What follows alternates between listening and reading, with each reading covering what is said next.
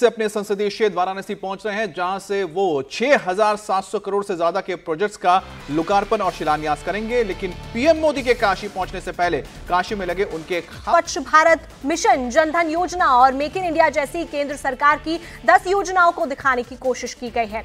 वाराणसी के कई चौराहों पर इस तरह के पोस्टर लगाए गए हैं।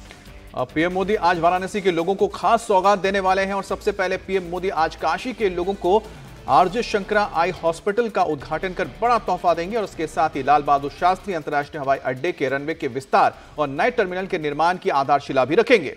इनके अलावा PM Modi Varanasi sports complex के पुनर्विकास निर्माण और अंबेडकर स्टेडियम में 100 बेड वाला हॉस्टल का उद्घाटन करने वाले हैं। और इसके साथ ही पीएम मोदी आज वाराणसी के अलावा इसके आसपास के कई शहरों के प्रोजेक्ट्स का भी उद्घाटन करेंगे और शिलान्यास भी करेंगे। पीएम मोदी आगरा, दरभंगा और बागडोगरा हवाई अड्डे पर नए सिविल एनक्लेम की निर्माण की आधारशिला रखेंगे।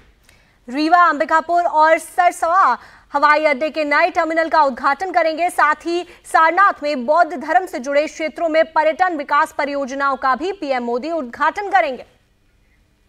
हरियाणा विधानसभा चुनाव में पार्टी की बम्पर जीत के बाद पीएम मोदी पहली बार काशी पहुँच रहे हैं तो वहाँ उनके स्वागत के लिए खास तैयारियाँ भी की गई हैं। खुद मुख्यमंत्री योगी आदित्यनाथ बाबतपुर हवाई अड्डे पर प्रधानमंत्री की आगवानी करेंगे। प्रधानमंत्री जब हवाई अड्डे से बाहर आएँगे तो उनका स्वागत, पुष्प वर्षा, कर और ढोल डमरू और शंख बजाकर होगा।